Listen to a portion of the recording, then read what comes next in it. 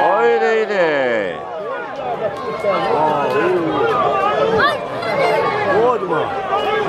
Nije kupac,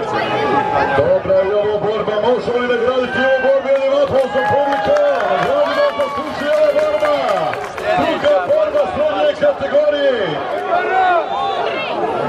Marko, ja se zahvaljujem. Organizator Grmečac se zahvaljuje na razumijevanju. Živ nam bio Marko.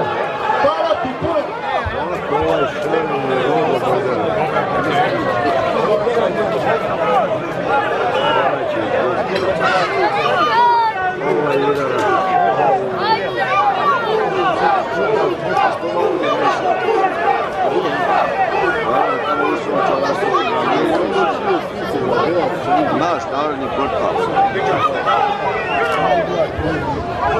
Ovo je dobra borba. Dobar putalj, dobar peronja.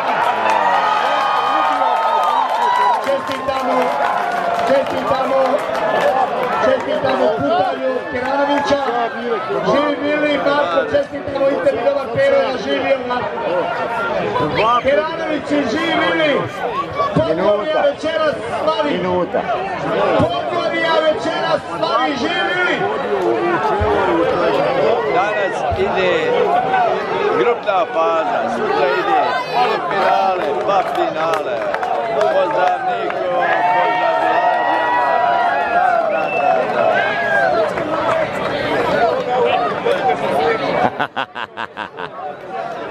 Jeste ga to uzu? Plavi, plavi, sve u plavom. Poglavlja je u plavom, živi li ja poguri i čestitam. Marko, i tebi čestitam da mi bude živi izbor. Najveći pozdrav Biće bolje drugi put, dobar Peronja, dobar Marko, ko gazda i prijatelje.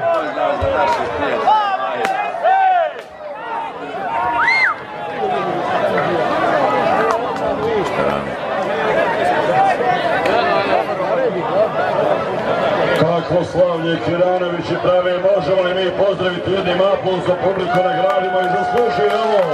Jer za ovo kaže se živi, za ovo se radi, vredne je. Hranimo bika bodača i želimo ovako, tako svako sa vama. Ante Bača sa Peranom.